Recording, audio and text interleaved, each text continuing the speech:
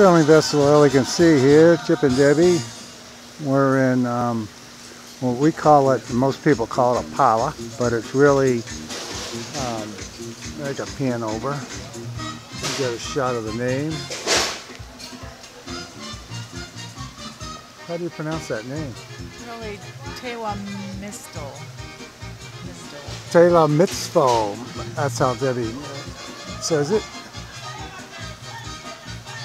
But it's right around uh, corner from Cabo, Cape Cabo Corrientes or Cape Cape Corrientes or Cabo Corrientes or Cape Occurrence. Um, it's a few hours south. Good place to uh, if you don't want to do an overnighter. And we decided we opted to come here and come ashore and not do the overnighter and on our way to uh, or Perula or whatever. So um, there's a shrimp boat out there with us.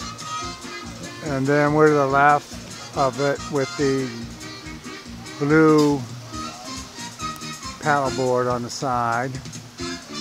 That's us.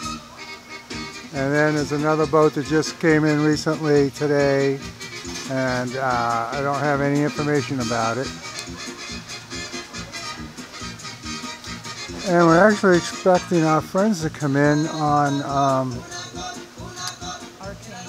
Arcane. Later on today. We were over in Punta Mita with them anchoring. So there you have it. There's Debbie. There's uh, up the hill. We'll take a walk up there. We did a beach walk. And uh, anyway, that's it. It's the only vessel I can see on the side. Oh, we had a panga come out and pick us up. It was uh, this one right here. He actually uses it to um, dive for oysters and uh, crawfish.